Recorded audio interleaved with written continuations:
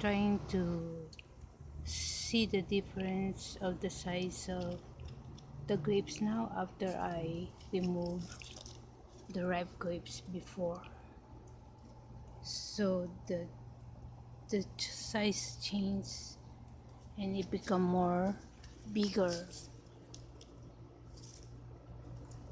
compare us the last time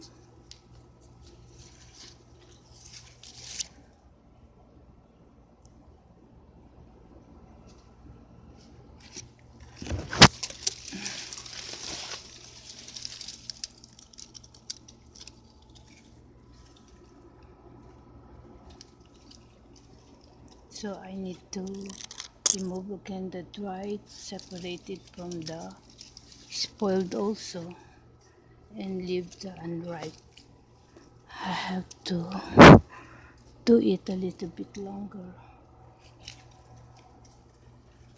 There are still some that are still unripe